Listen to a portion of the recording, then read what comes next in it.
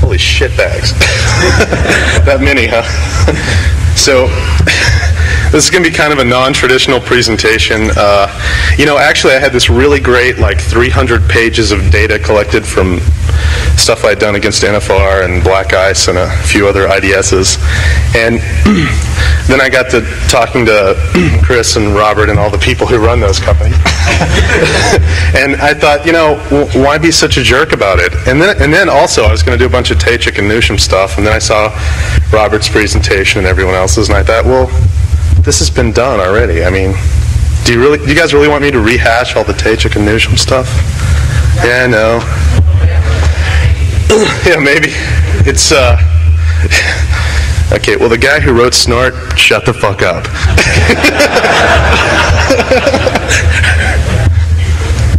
so I really, you know, so I really didn't want to rehash all the Ptacek and Newsham stuff. So I, like, literally, seriously, woke up this morning, not too very long ago, and and sat down and had a conversation with a few people, and uh, I put these slides together in like about 25 minutes. So I hope you like them.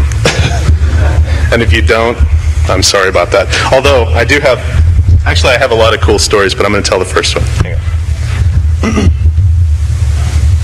Okay.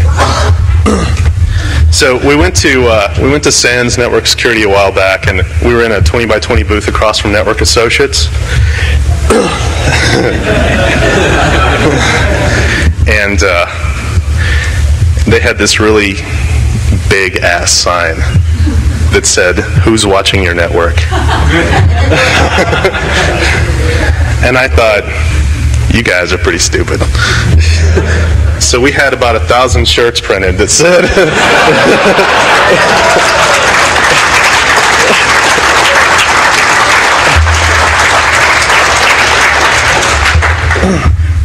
so much to their dismay, for about the next uh, two days, about 500 people were walking around in shirts that said, We're watching your network. and I think they were across, you know, from us just going, You suck. so, to take it one step further, hopefully I won't get sued again. Their attorney sent us a letter and told us that we had been violating something uh, to do with their slogan or what have you. And our attorney sent back a letter and said, basically, fuck you, get a little more creative. so we're watching your network. So, if anyone, this is a really interactive session, as you can probably tell. Shit, I may not even talk about technology. if if you guys have any questions, feel free to ask them. And if anybody asks a good question, I've got about 15 shirts I'm going to throw out. So, except for the guy who wrote Snort. That's a good question. I'll get to that. So also, I have these uh, little. Have you seen these little pins? I have these little pins that say "Fuck me, I'm leet."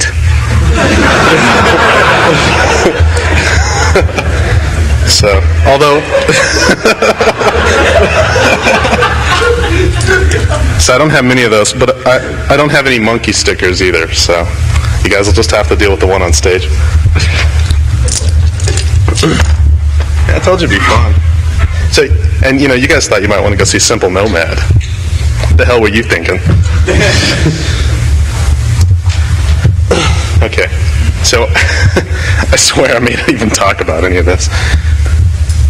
So I've been thinking a lot, and I think everyone else at, at our company has. Also, I'm not going to try and pimp our technology a whole lot too. So, although I do have some slides that were created by our graphic artists, so you're going to see it, a lot of like Hiverworld logos and stuff. Couldn't be helped. I like barely know how to run PowerPoint, so some marketing gimp. What's that? Oh yeah, there you go. Good good call. Who has time to do that though? Oh yeah, that's probably true. Next time I'll use Magic Point, or you know, if they ever port, uh, if they ever get around to getting Star Office or something working on uh, OpenBSD, or if it, if anyone could ever make it work, send me an email. so anyway, back to the slides. um, so Feynman, who I think everyone probably knows who that is, Richard Feynman, fantastic physicist, really great, great work, work that was totally accessible to everyone. he said something that I think totally sums up how I feel about network security. and how I feel about the stuff we're doing, and how I feel about everything everyone else should be doing.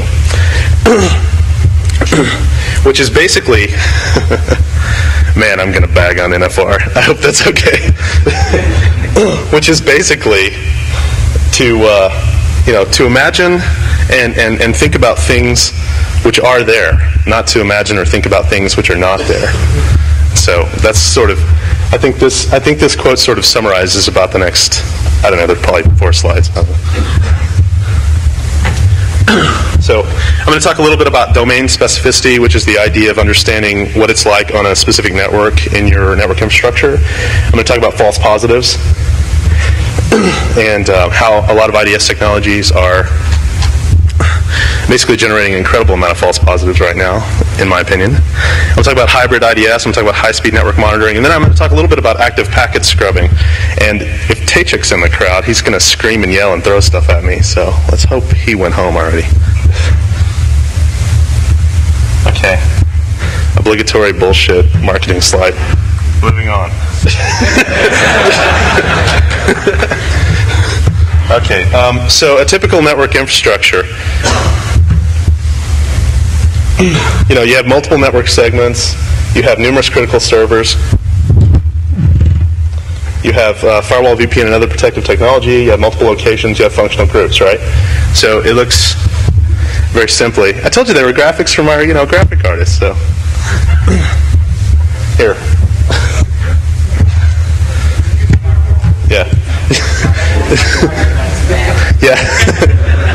well, I figure it pretty much sums up most of the firewalls on the market anyway, so.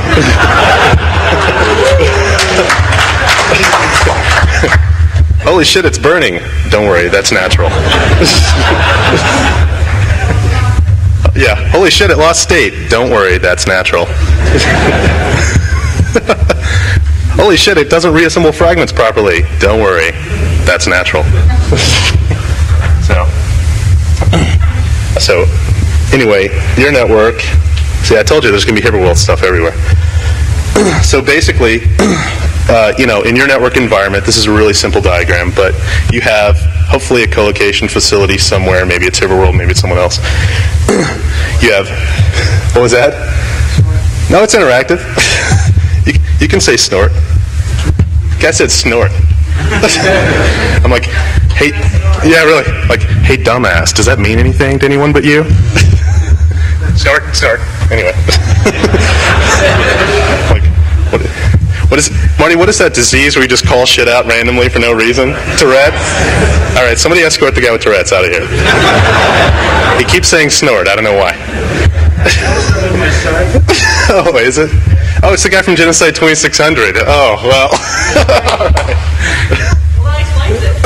There you go. Okay. so now I, I swear I'm going to get through these. So anyway, you have uh, you know a scanner possibly. In our case, our scanner is called Swarm, so of course I have the Swarm logo up here. And you have a management console, and theoretically you're not using some crappy product where multiple scanners or multiple IDSs can't report back to the same management console, or are you? Anyone? No? Okay. So, what do I mean when I say domain specificity? Well, I mean that networks are constantly changing, probably, right? It's always something. Someone plugs something in, something changes, you know, that sort of thing. I mean that the environment, if you're more than a few class Cs, what do you th- so someone want to answer how many how many class Cs do you think one administrator can can actually manage and keep track of? Zero. Is that what someone said back there? That was funny. Four? Yeah, not many, right? Just a couple? Yeah? Okay. So, I say that the environment must be understood through automation, not people handing information around, right? I think you have to have some sort of automated tool constantly monitoring your network.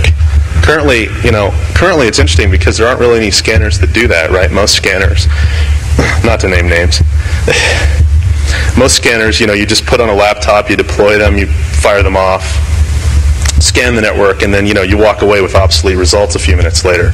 So I have this idea of you have to you have to automate the process of understanding your network with technology, not with people. Okay, moving on. and then and of course track each change on the network. No, it's going to get more fun. so then I thought I'd quote Ranum, um, and, not just by saying script kiddies suck. did did anyone see that talk at Black Hat? No. Holy shit bags. Open source is bad. Script kiddies suck. Don't release anything. You're all going to hell. I basically, basically, I just summed up like about an hour of his meandering. Holy shit. Don't forget our lawyers are bigger than your Yeah, and and our lawyers are bigger than your lawyers. So uh, you know, there you go. So, but I'm going to quote him anyway, but not not in that respect. And I'm going to get sued by like every fucking company out there if I keep this up. I, hey, I figured stuff out. What the hell, right? I, figure most of the suits not even come to this, right? Free advertising. Free advertising. There you go.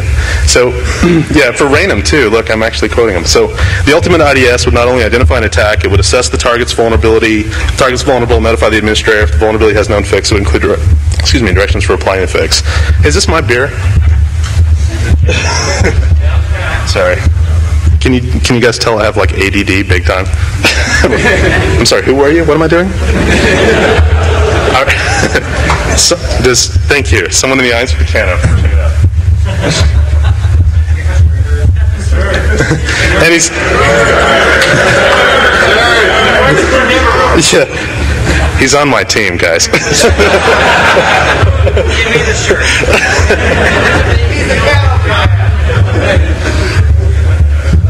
Bottle cap. There you go. so, yeah. Actually, there's free beer over here, right?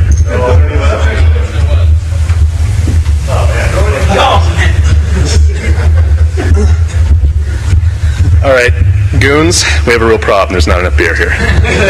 Someone bring more beer. Okay. So.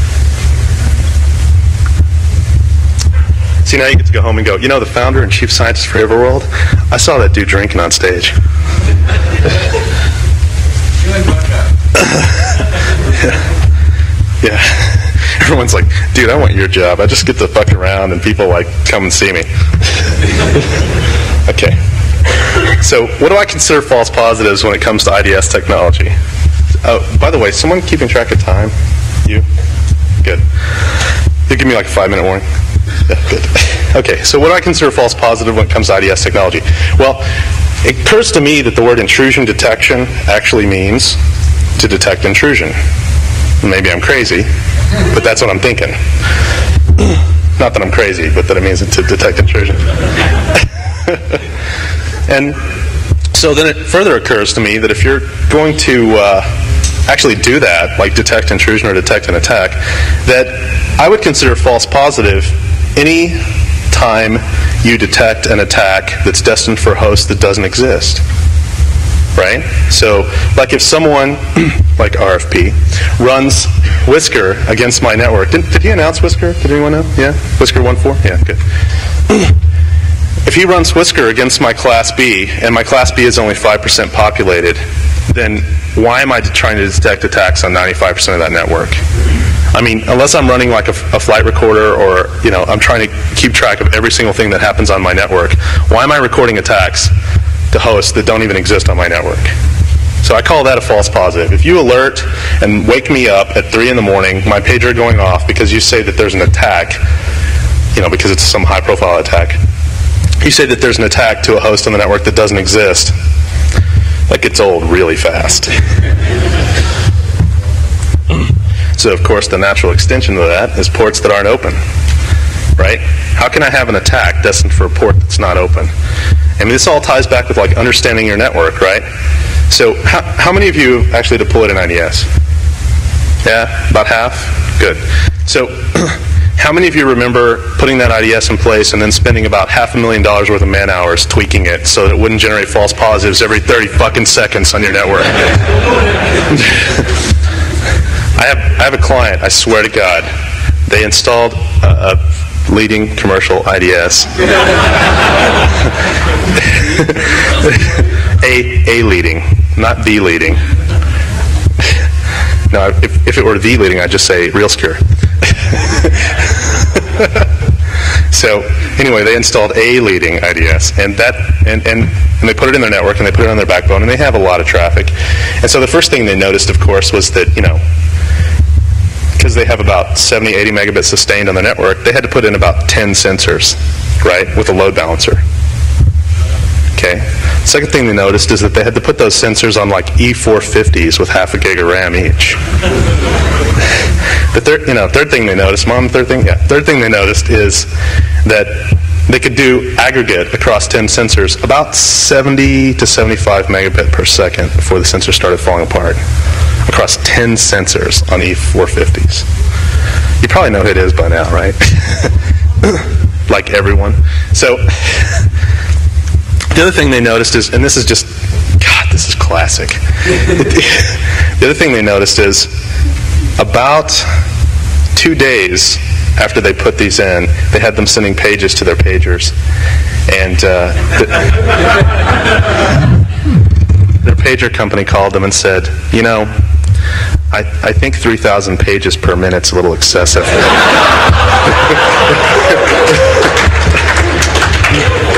and so after, after about, you know, 48, 72 hours of this, they finally shut it down, but they had so much mail queued up that when they finally got their pager bill, one guy's pager bill for three days, anyone want to guess?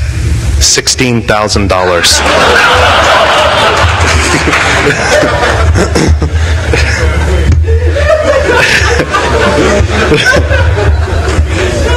and I was just like, righteous. Where can I get one of those? I didn't realize that they, they made systems that tested the pager infrastructure. yeah. Okay, so where was I even? Services that aren't running, right? I don't want to. I don't want to know about attacks that are destined towards services that aren't running. Let me give you an example. Despite what Nmap says, just because I have port 80 running does not mean I am running a web server on it. Agreed? Yes. Good. Good. Despite what Nmap says. so that brings us into invalid services. Similar kind of thing, right? And. And then I'm going to take this like a step further. See, I like to say I was going to talk about Ptacek Newsham stuff, but now I'm just rambling. I was going to talk, uh, um, so improperly ordered fr- uh, fragmented constructed packets between the NIDs and the target. Okay, what do I mean by that? Well, who's read Ptacek and Newsham's paper, Insertion Evasion Denial Service? Okay, the HiverWorld guys have. Anyone else? Stellarchek. Okay, yeah, you don't count. Anyone else? yeah, a few people. So, hang on. So how fucking elite is this? This is my copy, and it's got my notes in it. So I've like underlined some stuff that I think is relevant. Wow, here's a uh, Network Associates white paper on high-speed IDS.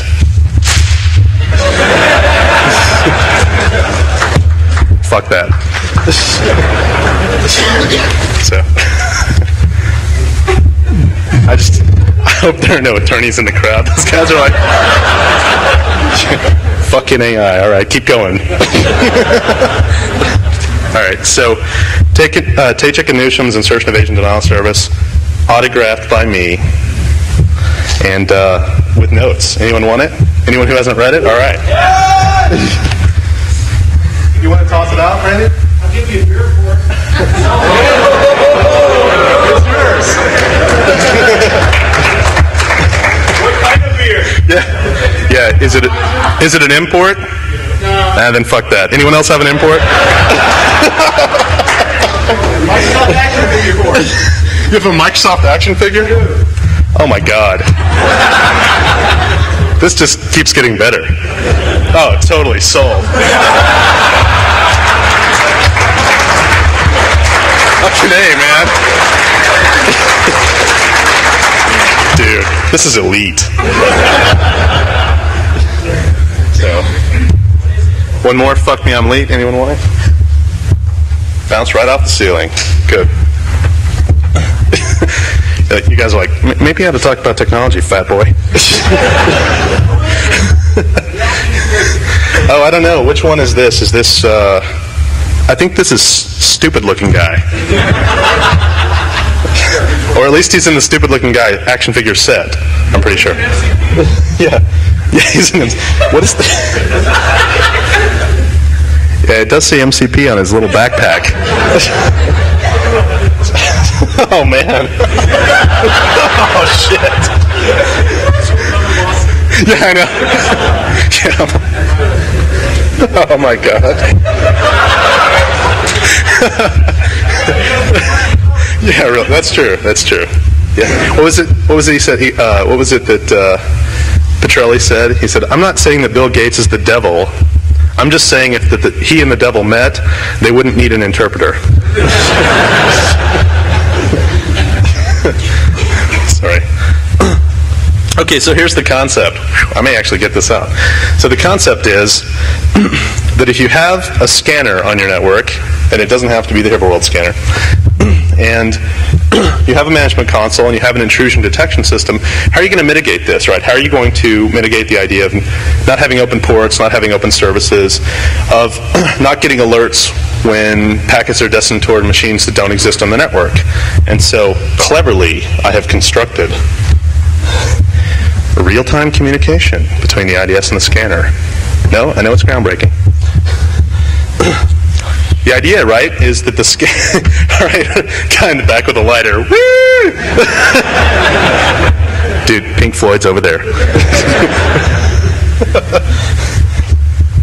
so the idea, right, pretty simple, pretty hard to do. The idea is the scanner would grab information about the domain, therefore creating domain specificity.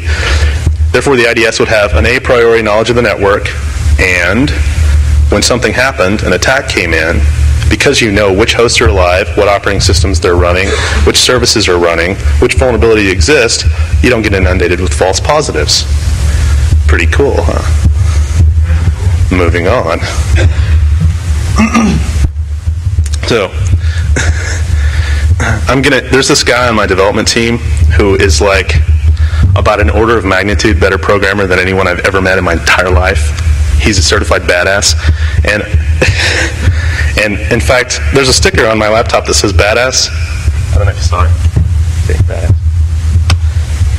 And I got one for him too. Yeah, ooh, badass sticker. So, so, so here's the idea. Um, I swear I was going to talk about high-speed NIDs, right? somewhere. Did anyone actually read the abstract for this talk? See, and what the hell were you doing?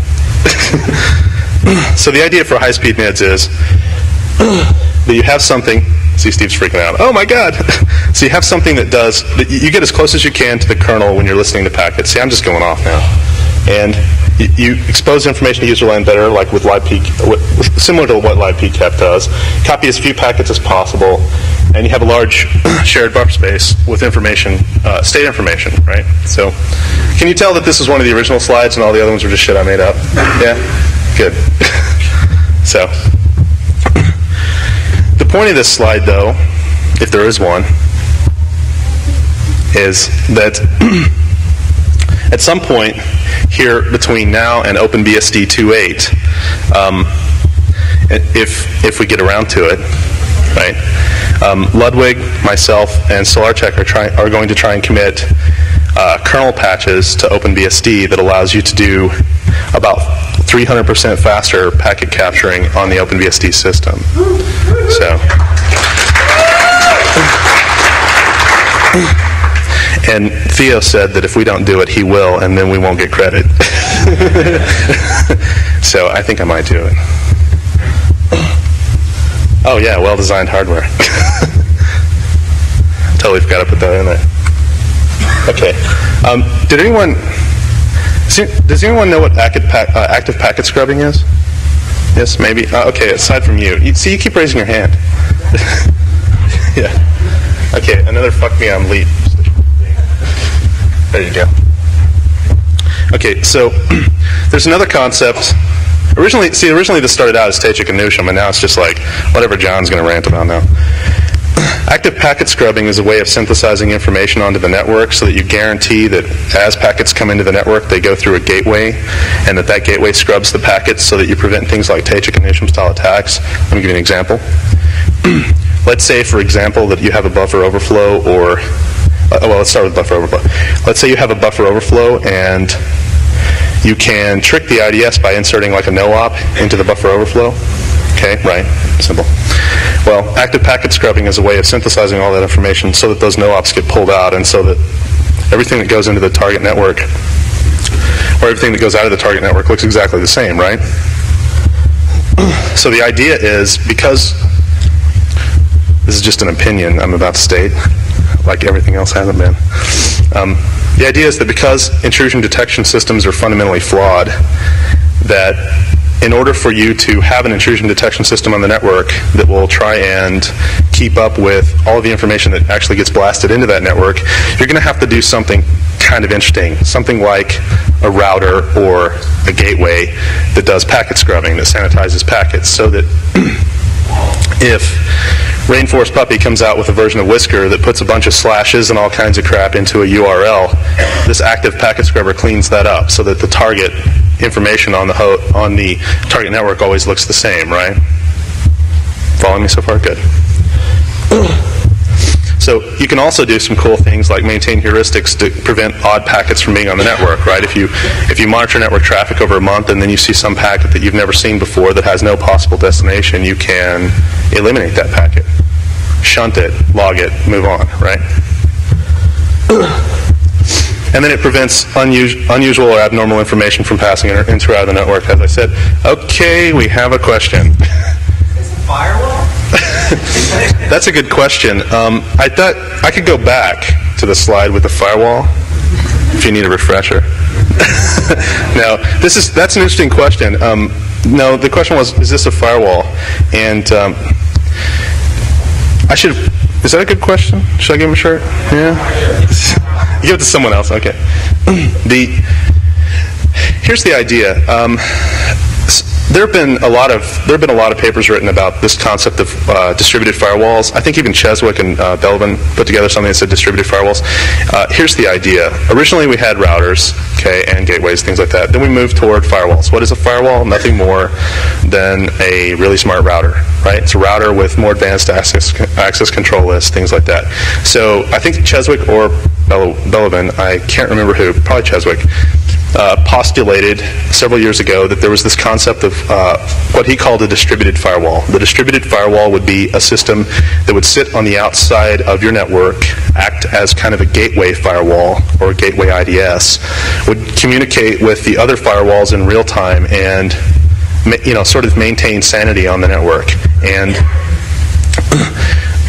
that notion was further emphasized by Ptacek and has been has been talked a lot about. Uh, well, not a lot, but has been talked about somewhat with uh, like the packet vault concepts from Honeyman and the things Doug Song has been talking about, and as well Vern Paxson uh, has written a paper about this notion of scrubbing packets as they come into the network. So the, the idea here is that it's not a firewall, it's like the next step, right? You have a firewall and then you go forward and you have something that does like reactive access lists, right? Does reactive access control. So is it a firewall? Uh, from one perspective, it is because it does routing and it passes traffic through. From another perspective, it's a lot it's, it's a lot more evolved as a mechanism for preventing crazy traffic on the network. Does that technology exist with enough bandwidth to do the job now? Um, I believe that the technology today has not uh, exists, but only in limited areas. The, que- what, the question of bandwidth is a good one. How much bandwidth are you asking about? Like OC3 or T3 or just rational bandwidth? Yeah. yeah. What is rational bandwidth? Um, the technology exists in two forms. Um, in one form, I have about 2,100 lines of code that I am debating whether or not I should check into the OpenBSD source tree to do this very thing. And then the selfish person in me is saying, well, or should I release that as a product and keep the doors open. So, I don't know. The technology uh, exists somewhat. It exists. certainly, I know that I know that uh, Vern Paxson has worked on some of it. Um, I- you know, I spend about three hours talking to Doug. I know he's working on some things like this. But like I say, I have about 2,100 lines of code that actually, for the most part, does this, that I may check into the OpenBSD sources. So, quite, qu- good question, though. Question. Well, sure. Go ahead.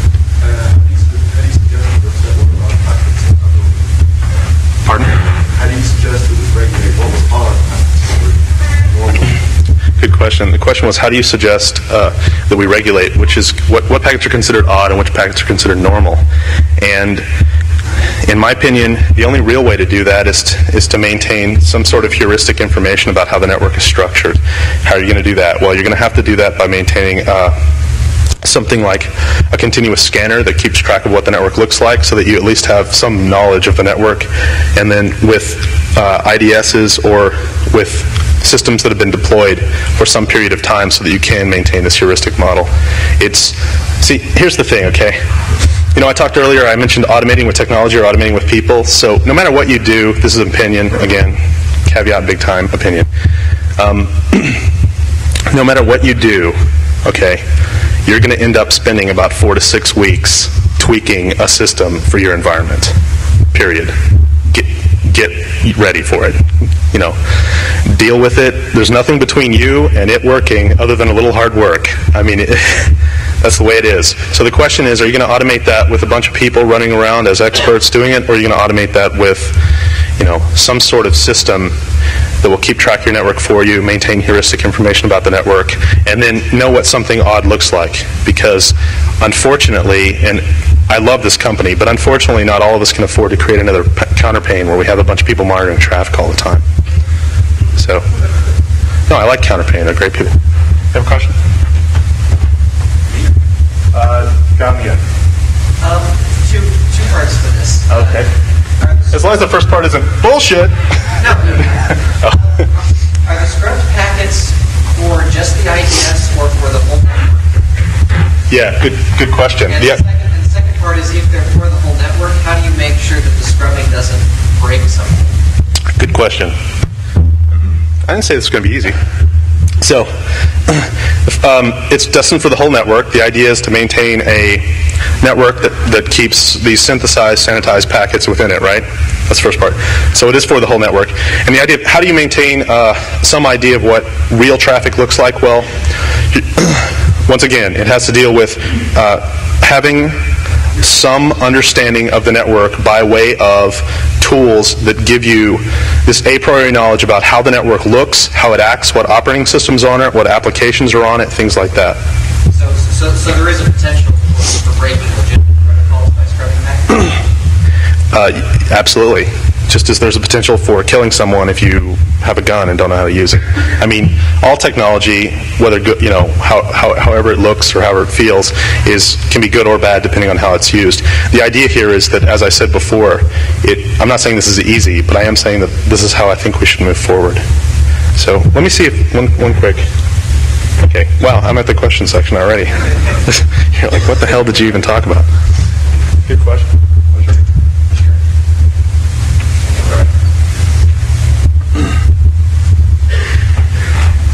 See how many shirts I have left. Let's see a few questions.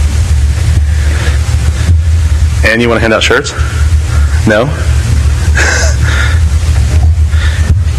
Here comes Ann, the uh, token Hiverworld chick. Dude, she's totally elite, though. Like, she can reassemble out of order fragmented packets with overlaps in her head.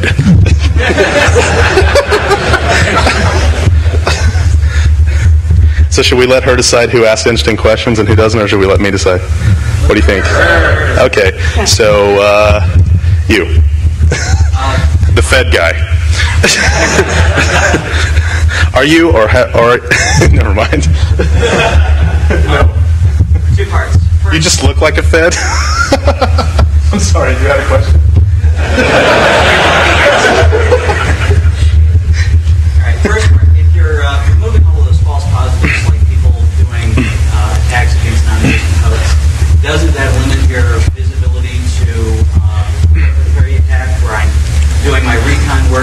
Watching this, and then identify them as a, a potential uh, conflict later on. And then the second one is the uh, the packet script.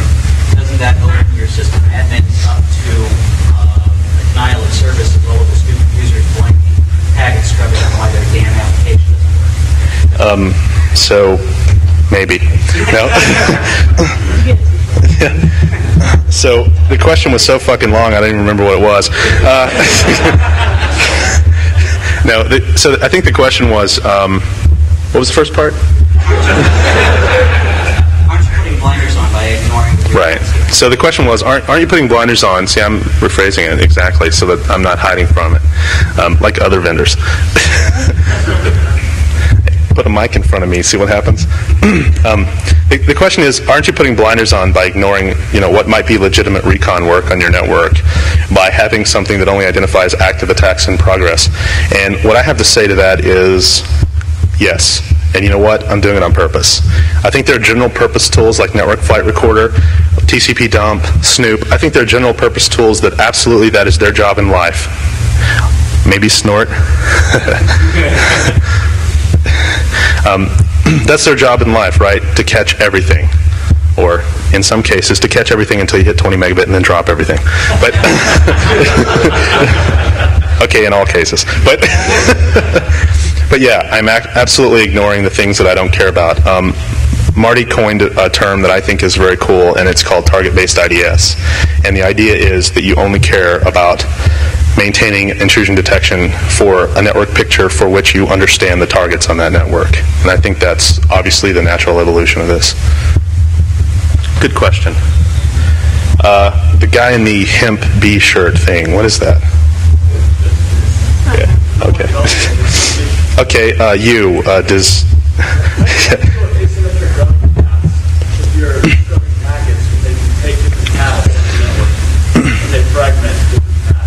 That's an excellent question. The question is, how do you deal with fragmented packets across uh, across this packet scrubbing uh, environment when you have sort of no no real idea of what kind of path the packets are going to take? And the answer to that question is, the only way you're going to do this and do this right is if you have a system set up where the system communicates in real time. Like say Cheswick mentioned this notion of a distributed firewall, and what I have to say is that this system will not work if you just put a bunch of islands on the net, right? Not to uh, quote Bruce Sterling, who, never mind. Um, Um, yeah, so the idea is that these systems have to communicate in real time. They have to communicate with an upstream management console. They have to communicate with the scanner.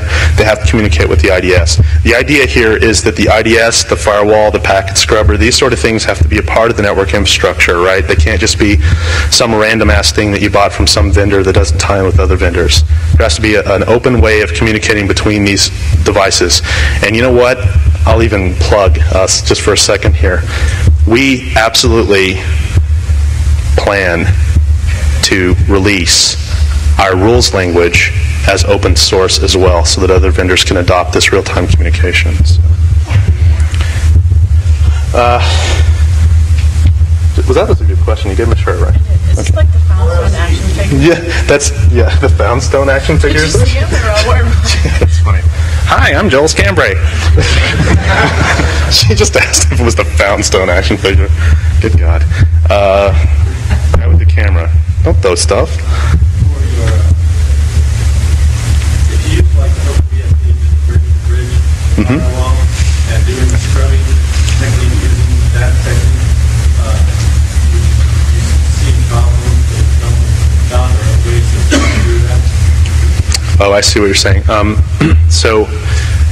correct me if I didn't understand the question. Okay.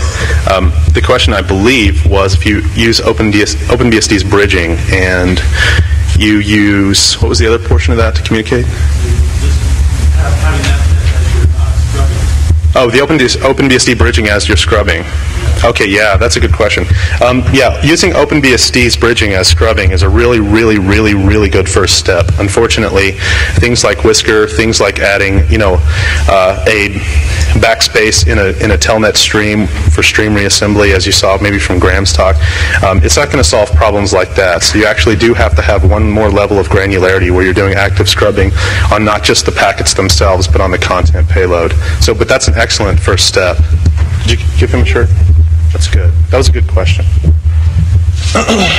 um, okay, the guy in the like green thing that exploded. It's from uh, Orb Health, Wow, which one? uh, Orb Living. Oh, cool. Orb rules. But I didn't go to the concert because I like don't get any sun. So go. My question is related to network IDS for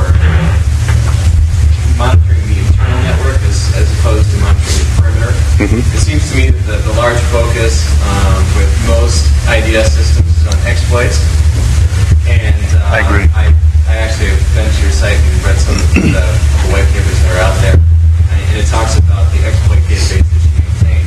However, when you're looking at internal uh, intrusion detection, I mean, the, the stuff I care more about is an administrator all of a sudden telnetting to the server that they've never telnetted to before. Right.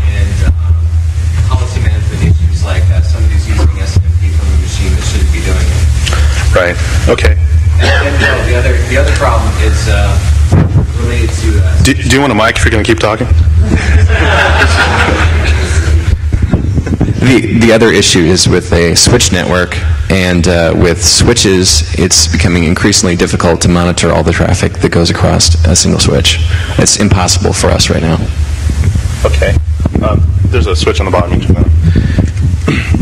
It's not too complicated, good. Um, okay. Yeah. So the question was, uh, I, and I believe I'm interpreting this correctly, but it is my universe where I'm at center, so I'm to say what I want. um, the question was. Uh, people are spending a lot, possibly too much time just looking for exploits, and not enough time looking for what would be traditionally considered uh, anomalous behavior. You know, when someone's doing something from a system inside that they shouldn't be doing it from. And uh, I believe you feel that uh, this anomalous behavior should be taken into consideration a lot more. And not only that, but even if it is if it is taken into consideration, how in the hell are you going to manage it because of switched environments and the complexity of that? And that's those are all good questions um, or comments, I think. Yeah, I do think people are spending an awful lot of time playing the counting game, counting how many exploits they each have. Oh, look, I've got 300 exploits that I check for. You know, never mind the fact that 175 of those are freaking username password guesses. You know, sorry. Um, sorry for those vendors that are cringing because I just called bullshit on them. But so offensive. Actually, so this this brings me to one quick little tirade I'm going to make here, which is, um, do you guys have any idea what it's like trying to be a vendor in this space? Right? I mean, everyone is so freaking jaded. Right? They've been lied to by vendors. They've had vendors tell them what is just complete bullshit. And so when you come in, of course, you're like, hey, how's it going? You know, we have this thing, it does some stuff, and it's pretty cool. And they're like, yeah, right, prove it. and you're like, no, look, I have this model of, you know, cool predicate calculus based out. Yeah, whatever, prove it. and and so you know, so so then you have you have a situation where like at some point it's okay for a vendor to stand on stage and say that their you know 46 laptop does 148,000 packets a second.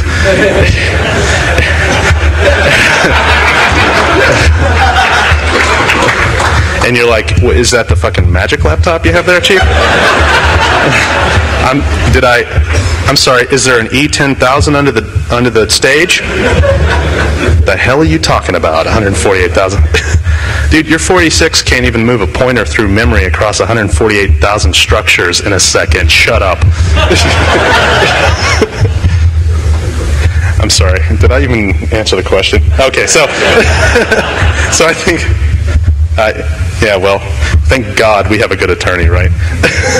um, yeah, so I totally agree. You know, even though I get up here and I joke and I have a lot of fun, it is DEF CON, so deal with it. But I totally agree. I think people spend an, I, th- I think spend, uh, people spend an awful lot of time thinking about exploits, and they should be really thinking about their network. And this concept that I threw up of domain specificity, it's the idea that you need to know your network before you know how to protect it, right? How can you protect your network if you don't even know what's on it? I mean, the idea of coming in with an IDS when you don't understand your network and just turning it on and saying, well, you know, it's not really doing what I want is ridiculous, right? I mean, concept here is you need visibility on your network before you can before you can even add an IDS. So once you do add an IDS, or once you do add this packet scrubber, or once you do add some sort of reactive system, then you have a great ability, right? You can start grabbing information and maintaining some sort of map of everything that's happened. And so you know, exactly as you said, you know if some crazy person in marketing who's never run SNMP before is suddenly firing up the latest like ADM scanner that does SNMP, you know, grinding across public and private, you know, uh, it, it, you know if they're doing that, right? Because you have some understanding of what's going on in your network. So I totally agree. People spend way too much time thinking about exploits, and not nearly enough time thinking about how can I get an understanding of my network that makes sense. How many shirts do we have left? How much time do I have? Okay, cool. I got plenty of time to rant. oh, hang on. I, I don't know if I don't know if you get to answer a question. Oh. okay, so just for those of you don't know, this is the guy that I just called bullshit on.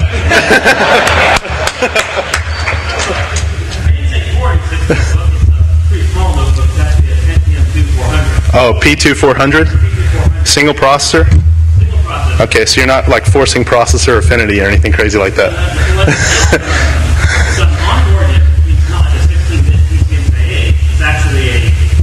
Okay, it's got a 32-bit onboard NIC. Do you want a mic?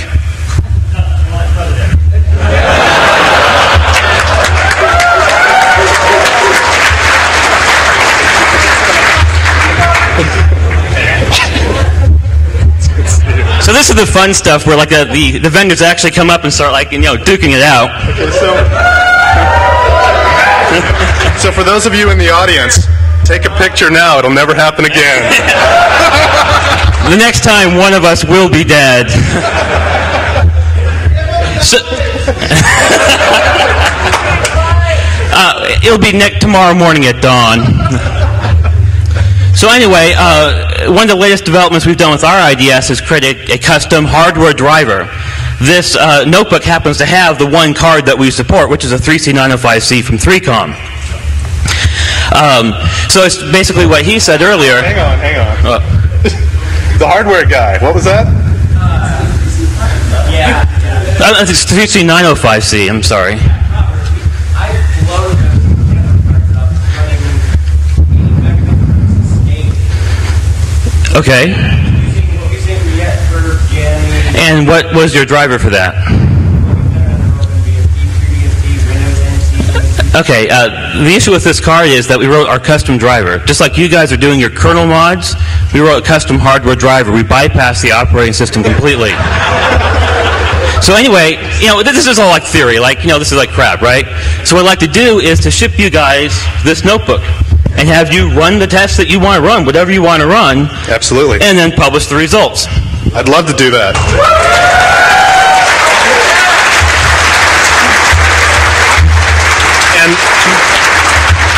Luckily we're in the Bay Area, so I can like just send it across the Bay and send you guys the notebook. if so, I just I just want you guys to know. I mean, I do. I, obviously, I have some respect for Network ICE, so I wouldn't be blowing them so much crap, right? if, if I didn't like them, I'd just ignore them. and also, I mean, we're a fair company. I mean, I haven't come up here and said anything totally crazy. I'd totally would be willing to take you up on that. That's awesome. And I'm big enough that if I publish the res- if I find out that the results are true and that and that Robert's right, I'll put them on our front fucking page. No, just well, just post it with security focus or something like that. Yeah, Good call. So, and and we'll maybe even get Security Focus to link to it or something. Yeah, absolutely, absolutely, Absolutely. Cool. Thanks, man. I can give it to you now. It's got proprietary information on it. No problem. No problem. I think that absolutely, absolutely.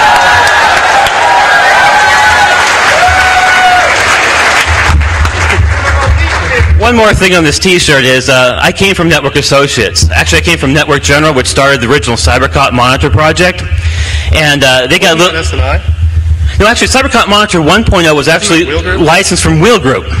So then, Bill Larson, uh, CEO of Network Associates, bought out Network General, and then got and then Cisco bought out Wheel Group, and those two, uh, John Chambers and uh, Bill Larson, got into like a little tiff, and they basically had to pull the CyberCop Monitor 1.0 product off the market. This was after their "We're Watching Your Network" or "Who's Watching Your Network" campaign came out. So kind of screwed. It meant that they weren't watching your network. So then, like the SNI folks got together, some haystack people with the sniffer drivers. They sort of clued together CyberCop Monitor 2.0, which uh, I've never seen in real life anywhere. I don't know if it really exists.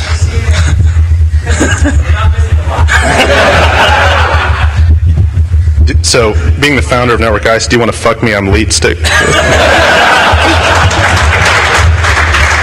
me a sport.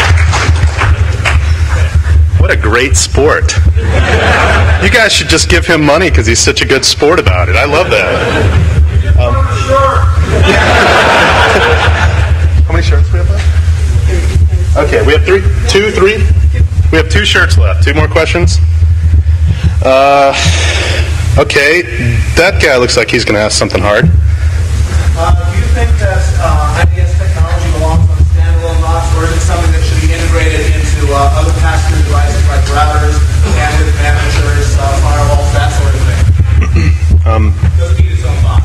Yeah, that's a really that's a really good question. I personally believe that today, right now, that the IDS technology needs its own box.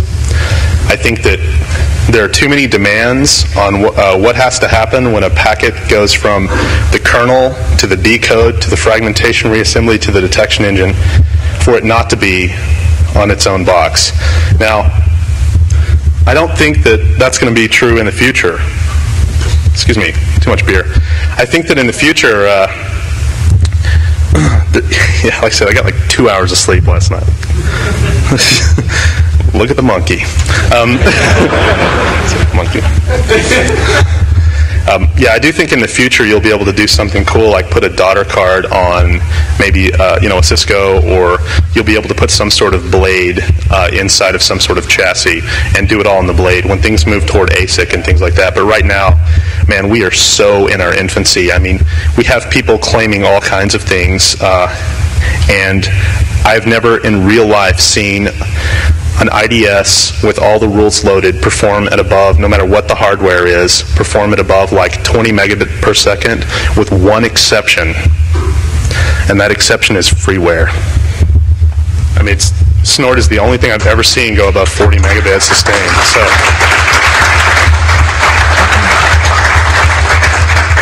Good question.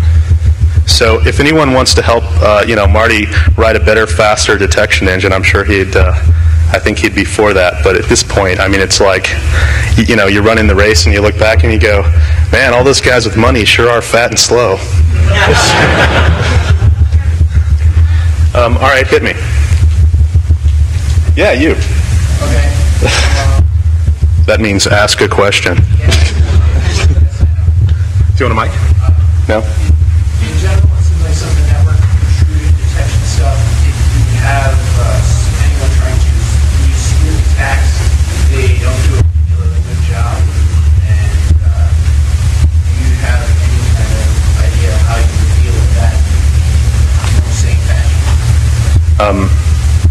So the question is that most systems today don't deal with spoofed attacks very well, and do I have an idea of how to deal with them more appropriately?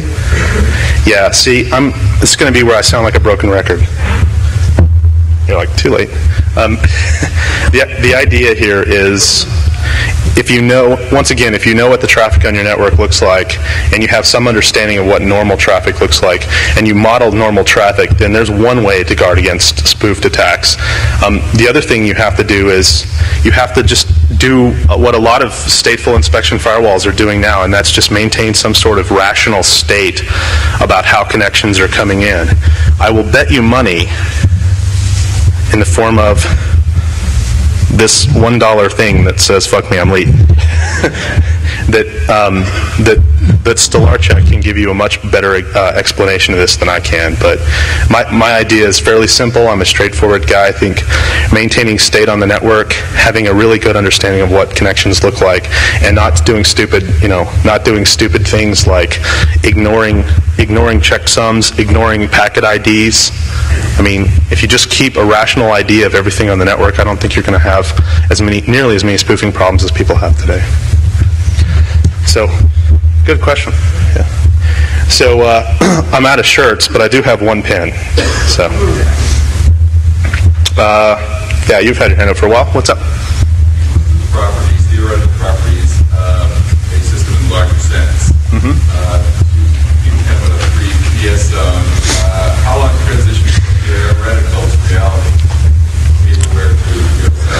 Good question. Um, his question was basically, um, I've listened to vendors before and BS. when is this all happening? Uh, am I being fair? I mean, um, probably putting words in your mouth, but they're my words. yeah. The, so as I said before, um, the the concept of doing high-speed intrusion detection is, uh, while not while not uh, exactly completed, it's not vaporware. We have it in beta, right? I plan on releasing sources to the OpenBSD source tree to do high-speed network interaction. Um, our products already do interoperability. We're releasing, like within the next few months, we're releasing uh, an open source rules-based language that allows you to communicate with systems in real time. So we're talking about 60 to 90 days away from an open source rules-based language. I also plan on making the modifications that I'm talking about, about 2,100 lines of code. I plan on making those modifications to the OpenBSD kernel to allow some, uh, you know, maybe not super robust, but certainly some first step packet scrubbing to occur. So I think by November 11th, which is the release of OpenBSD 2.8, you're going to see an awful lot of this technology in the, in the stock OpenBSD distribution. Yeah. Uh, in the back.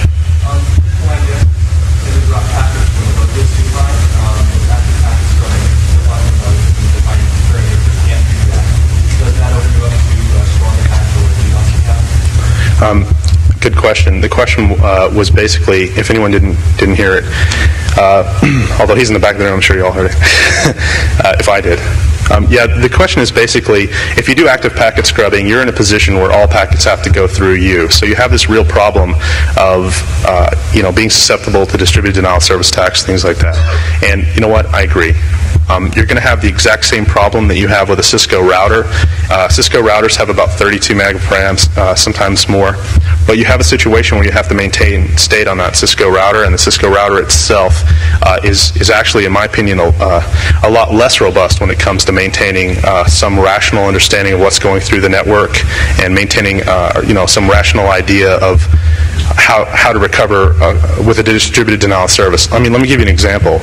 I mean, you can put, you know, a PIX on a network, and I'm not just bagging on PIX, it's a lot of stuff, but you can put a PIX on a network segment, and no matter how you configure it, if you run uh, Nmap, if you run a SYN scan, a fragmented SYN scan from Nmap, uh, either through the PIX or or into a network that passes through the PIX that doesn't exist.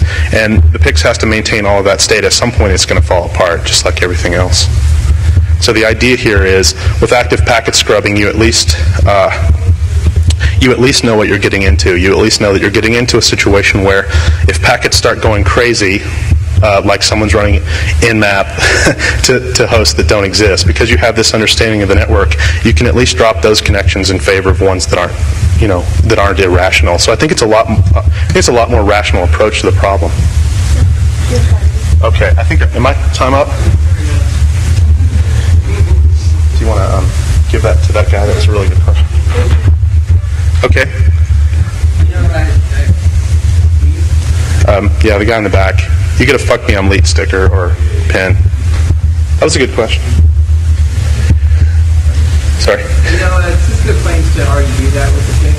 Um, they, they mentioned something vaguely. I was wondering if, if you can go into more specifics on the scope type of the uh, scrubber. Because what they talk about is, is uh, changing their filter list actively. Right. On certain types of signatures. Right. So um, the, the comment was Cisco changes their filter list uh, actively based on certain types of signatures. I totally agree. They changed the access control list. I absolutely agree. That's not what I'm talking about. What I'm talking about is scrubbing the packets and the packet content and the packet header so that you sanitize things that go into the network, so that you guarantee that everything that comes into the network is is uh, sanitized. And and you know I agree that that Cisco does some of this, but what Cisco certainly does not do is maintain an active understanding of the internal and external network segments that are connected to, and modify uh, whether or not they're holding packets, or modify how packets look, or modify modify uh, packet destinations, things like that, based on a heuristic understanding of the network. Okay. And one more question, then I'm out of here. Um, yeah, go ahead. Do you see the, do you see the real-time scanner as moving towards integration with space between I hope so. Question was, do you see real-time scanner moving toward integration with host-based systems? You know, I absolutely hope so. I hope that people take the uh, the rules language that we're proposing and modify it and add to it and create a consortium and spend four you know years arguing about how it should be set up. And then, in the meantime, rational vendors do what everyone else does, which is just implement the damn thing and get to a point where we're actually maintaining visibility between the, the host's understanding of what's happening on the host, the network's understanding of what's happening, I mean, scanner's understanding of what's happening on the network, and the IDS's understanding of what's happening on the network from, uh, you know, a his- historical model. So, that's it for me. Thanks, guys. You've been wonderful.